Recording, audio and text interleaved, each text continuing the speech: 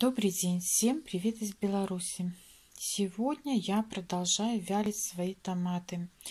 Вот наложила сушилку и хочу вам показать э, томат драп. Я о нем рассказывала. И вот такой вот томатик для вяления специально его приобретала. Видите, какая толстостенная стеночка у него. И он практически пустотелый.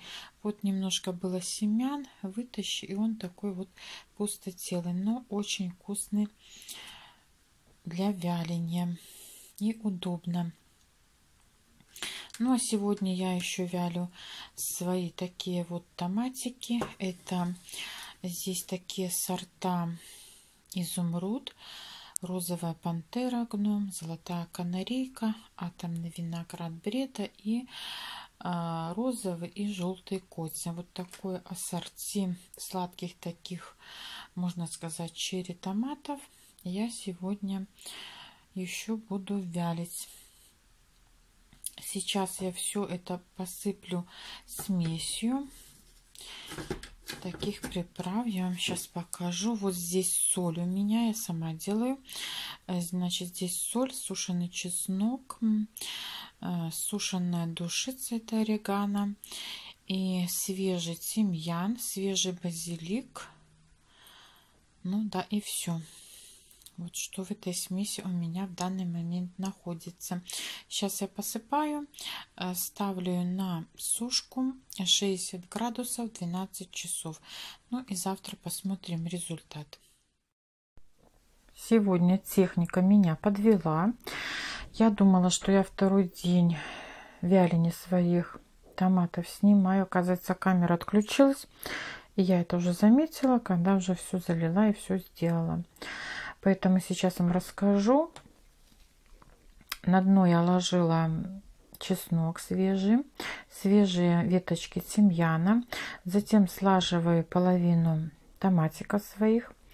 И потом опять ложу чесночок, веточку тимьяна. Затем опять томатики.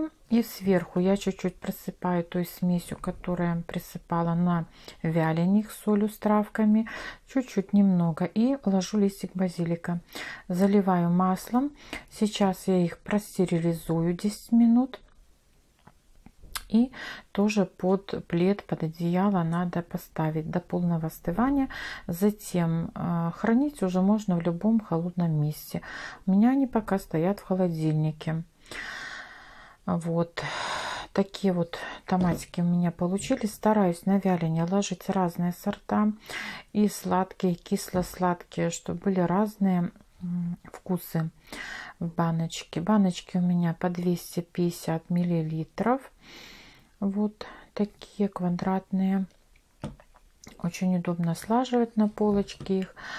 Ну и вот такие томатики у меня получились этот раз. Томаты я стерилизую а, для того, чтобы они лучше хранились. Ну и так как я свои томаты не сушу до такого состояния сухого, как сухари, а, то я думаю, что стерилизация не помешает. Вот простерилизовывается свежий чесночок, веточки тимьяна, так как они свежие, чтобы не было процессов брожения. Ну и на этом все. Всем удачи и до свидания. Если кому понравился процесс, мой процесс вяления томатов, то, пожалуйста, вот делайте так, со стерилизацией. Всем до свидания.